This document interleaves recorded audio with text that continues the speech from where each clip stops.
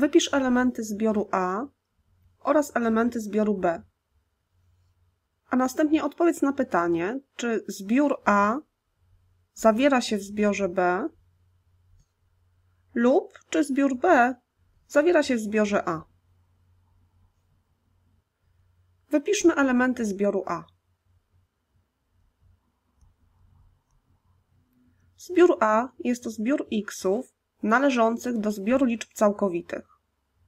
Takich, że xy są większe lub równe minus 4, a jednocześnie są mniejsze lub równe minus 2. To wypiszmy po kolei wszystkie elementy zbioru A.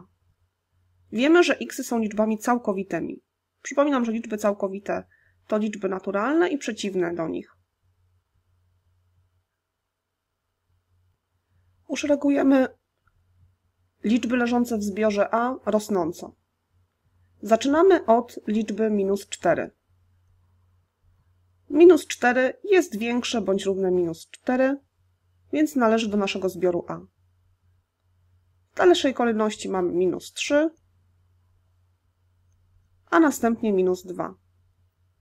Minus 2 jest mniejsze bądź równe minus 2, więc leży w naszym zbiorze. Jest to największa liczba należąca do zbioru A.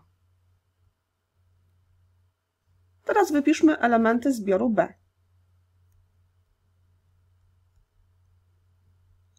Zbiór B jest to zbiór xów należących do zbioru liczb całkowitych, takich, że kwadrat liczby x jest większy bądź równy 4, a jednocześnie jest mniejszy bądź równy 16. Zastanówmy się, jaka liczba całkowita podniesiona do potęgi drugiej będzie większa lub równa 4. To może zacznijmy od szukania liczby, której kwadrat będzie równy 4. Mamy dwie takie liczby. Jest to minus 2 oraz 2, bo minus 2 do kwadratu daje 4 oraz 2 do kwadratu również daje 4. Poszukajmy następnie liczby całkowitej, która podniesiona do kwadratu da nam 16. Również mamy dwie takie liczby, czyli jest to minus 4 oraz 4. Proponuję, aby otrzymane liczby całkowite nanieść na oś. Mamy tutaj 0, jest minus 2, minus 4, dwójka i czwórka. Sprawdźmy, które liczby leżące w okolicach naszych liczb minus 4, minus 2, 0, 2 i 4 również będą spełniały ten warunek. Sprawdźmy, czy liczby mniejsze od minus 4 będą spełniały ten warunek. Najbliższa liczba całkowita znajdująca się w okolicy minus 4 to jest minus 5. Sprawdzamy. Minus 5 do kwadratu daje nam 25, czyli nie jest to liczba leżąca w naszym przedziale. Tak samo będzie dla piątki. 5 do kwadratu daje 25, czyli również nie jest to liczba leżąca w naszym przedziale. Czyli mus musimy szukać liczb między minus czwórką a czwórką. Kolejna liczba całkowita to minus 3.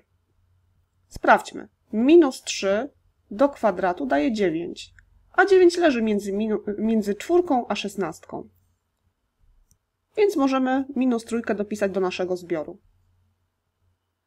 Oczywiście trójka podniesiona do potęgi drugiej też daje 9, czyli również leży między czwórką a szesnastką. Dopiszmy ją więc do naszego zbioru. Dalej mamy minus jedynkę. Minus 1 do potęgi drugiej daje 1. I widzimy, że 1 już jest mniejsze od czwórki, czyli nie należy do naszego zbioru B.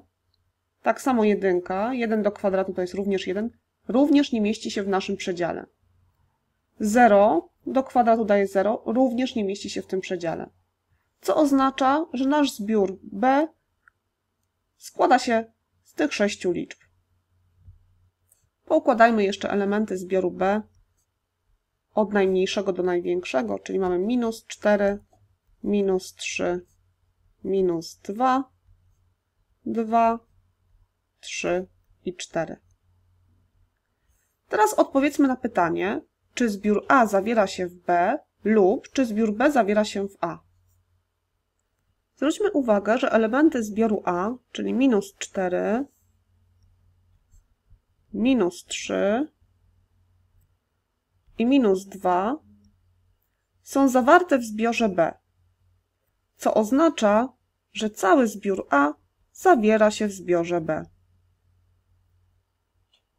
Inaczej możemy powiedzieć, że zbiór A jest pod zbiorem zbioru B.